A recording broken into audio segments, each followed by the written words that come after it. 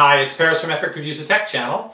And in the olden days, when people would overclock their desktop CPUs to see who could get the highest overclock, who could get the highest stable overclock, there was another program you would run both to test that the system was stable and also to compare the processing power of your computer versus someone else's. You know, it's kind of a guy thing and all competitive.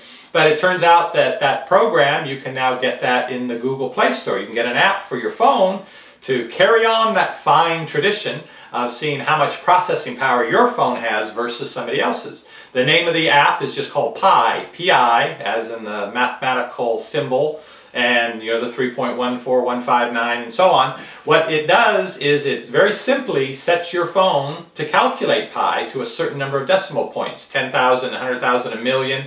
The longer you set it for, the longer it takes. The faster it finishes, the more powerful basically your phone is. So this can be useful, for example, if your phone seems kind of sluggish and somebody else has this same model as you, but your phone seems to be much slower, you can both load the app, have it run, see if there's something going on, if your CPU is being throttled or something where it, because it's overheating, it's cutting back on the speed. There's another very useful app that actually just a few days ago became available for the uh, Android phones that was also a mainstay of people who overclock their computer. It's called CPU-Z. I'll put a link to a video I did about that here. But if you'd like to see what you can get measuring pi out to like a million decimal points on your phone, let me show you the app, show you how it works. Okay, here is the app in the listing, searching for pi.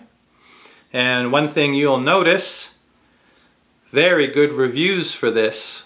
People have a lot of nice stuff to say about it, which you always like to see when you're going for a free app. Here in the install, you'll also see it doesn't need a whole bunch of permissions on your phone. It's just going to go about its business. So we're going to accept that.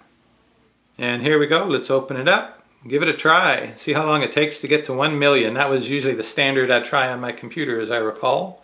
Back in the old Pentium 2, Pentium 3 days, calculate. It's showing me my CPUs are running at 1.2 gigahertz and I have two cores, which is correct. This is a Google Galaxy Nexus, so it's a dual core 1.2 gigahertz. We're going to choose 1 million and say go. Well, I was quick. You have calculated pi to 1 million digits in 6.025 seconds. So I can go on and share that in competition with other people. And here we go. In case I wanted to verify that it actually did it correctly, I can look at the entire million digits. And if I choose to share it,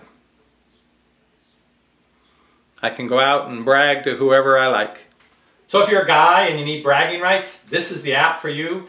It's geeky bragging rights, but hey, that still counts. So if you've got a brand new Samsung Galaxy S4 quad-core 1.9 gigahertz processor, go and get the app. It's Pi by GG Emulator. Run it uh, out to a million decimal points and then down below in the comments, post your score, your time of how fast it can do it. I know it's going to be faster than my phone, but wait, because I'm going to get that, that Motorola X phone that's coming out in a couple months and I bet I'll beat your score then.